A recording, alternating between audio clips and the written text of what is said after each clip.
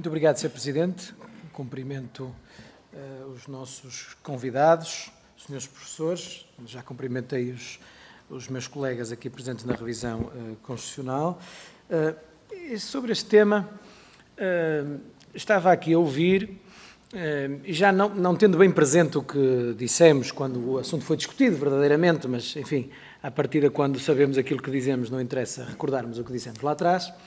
Há aqui um conjunto de sobretudo, uh, reflexões ou, ou, posições que queria partilhar, mais do que perguntas que vos queria dirigir. Até porque as, as, as, duas intervenções foram em sentido muito idêntico, no sentido de motivar a Assembleia da República a, a proteger ou dar condições para proteger o mirandês.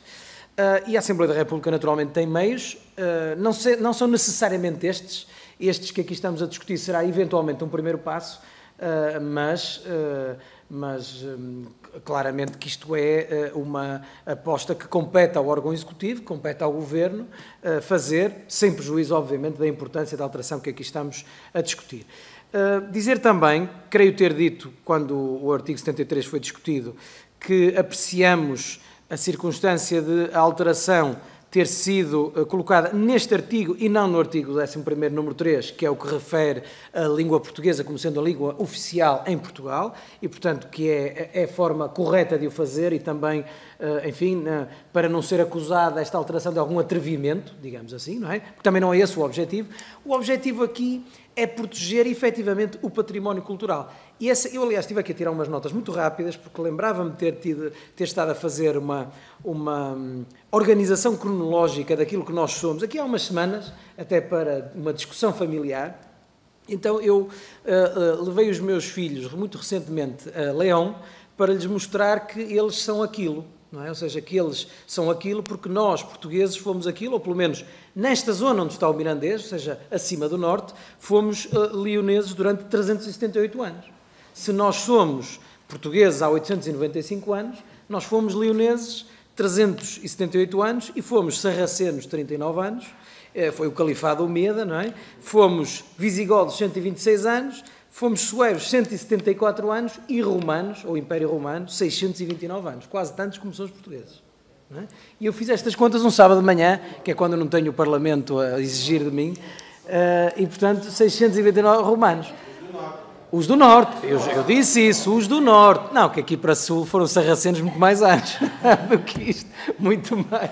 Eu, eu, eu, tive, eu tive ocasião de dizer acima do Douro, acima do Douro. E os meus filhos são de Guimarães, portanto levei a Leão para ver. Enfim, tirando esta parte que interessa, isto é a multiculturalidade da sociedade portuguesa. E, aliás, é muito, isto é, é um tema muito presente no debate político.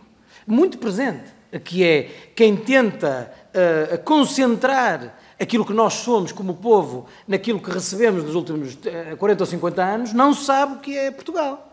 E, e não sabe o que é o português. O português é isto durante não sei quantos anos isto, durante não sei quantos anos aquilo. Isto é o português. E isto é, é o que é o nosso país, e já para não falar de todas as influências que, uh, uh, enfim, o, o antigo Império Ultramarino trouxe, obviamente, para o nosso país. Isto é o que nós somos. A multiculturalidade está no nosso sangue, é a nossa essência. E, portanto, não deixa de ser curioso que o nosso país, por exemplo, tenha uh, uma disciplina no ensino secundário que seja espanhol. O que está completamente errado, porque essa língua não existe. Existe Espanha como país, não existe espanhol como língua. Existe o castelhano, que é aquilo que provavelmente se quer dizer, mas é o Ministério da Educação que faz isto, vejam lá. Mas, enfim, eh, existe castelhano, existe basco, existe galego, enfim, existem muitas línguas, eh, catalão, não existe espanhol. Existe o Estado espanhol.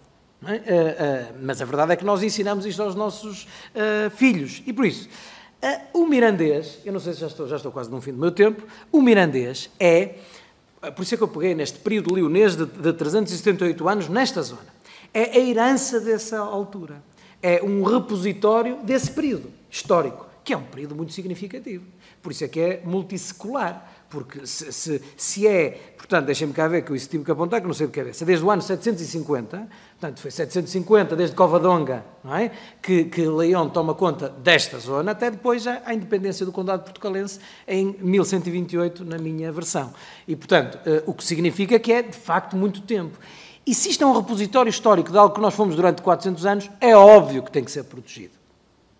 Na minha perspectiva e na nossa perspectiva. Porque isto é aquilo que nós somos, nós somos o que fomos. E por isso, obviamente, que tem que ser protegido. Aqui, do ponto de vista constitucional, se esta for, uh, se isto for um salvo-conduto, não é? Se esta for uma abertura uh, legislativa e neste caso com a, a, dignidade constitucional, para que depois, sem entrar em detalhes, se vai haver uh, imposição, concordo totalmente com o que disse a Sra. Deputada Alexandra Leitão, que não pode haver imposições. O que pode haver é esta abertura para que o Portugal, como sociedade multicultural que sempre foi e, e, no que depender de mim e do PSD, há de continuar sempre a ser, uh, defender aquele que é o seu património histórico. Com uma nota que era com isto que eu queria terminar. Eu acredito sempre muito pouco nas imposições uh, burocráticas ou formais ou estatais para a sobrevivência de seja o que for. Porque quando assim é, normalmente já não há razões para sobreviver. É? Quem acredita, e eu acredito muito, na autodeterminação dos povos uh, e na autodeterminação em geral, uh, a verdade é que uh, acredito pouco na manutenção artificial de determinadas matérias. O que significa o seguinte: se o povo desta região quer o mirandês, o Estado tem o dever de dar condições para que o mirandês se mantenha mas já não concordo tanto uh, que o mantenha uh, independentemente da vontade do povo. É? E isto é muito importante salvaguardar. Eu, de muitas tradições culturais, sem entrar em detalhes, estou mesmo a terminar, Sr. Presidente, dizer que uh, tenho dito várias vezes que quando uma tradição cultural é mantida com fundos comunitários e está para. Não, eu percebo a dimensão em que nós estamos a querer manter algo, mas já estamos a segurar é preciso é impulsionar e, sobretudo, respeitar a vontade popular, que é a essência de tudo isto. E quando o povo quer o mirandês, o mirandês vai-se falar em todo o lado, independentemente do que se fale, uh, que se faça na revisão constitucional ou noutras uh, dimensões legislativas. Muito obrigado, Sr. Presidente, também pela tolerância.